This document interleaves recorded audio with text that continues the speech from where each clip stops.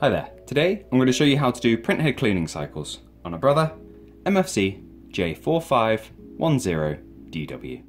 Now this is nice and simple. It can be done from the printer itself using nothing but the touchscreen and buttons over here. So, first thing we're going to need to do is go into the setup menu up here and then we're going to go into ink. Now we've got a few options here, but cleaning is the second one. So I'm going to press OK to get that. Now, because this cleaning process uses up ink, you've got the option to do black, colour or all, just to help you conserve the estimated ink levels within your machine. I'm going to do all, so we've got a nice general clean to improve the quality of this machine. Now this will take your printer just a second.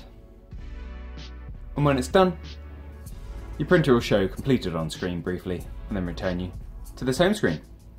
If you want to see the result of your cleans, I would recommend going through the same option again but you've got test print as a top option. And that's a great next step. You can carry on doing test prints and cleaning in circles until you're happy with the quality of the prints you're getting. But thank you for watching. If you found this video useful, please do let us know with a like. If there's anything else we can help with, let us know in the comments.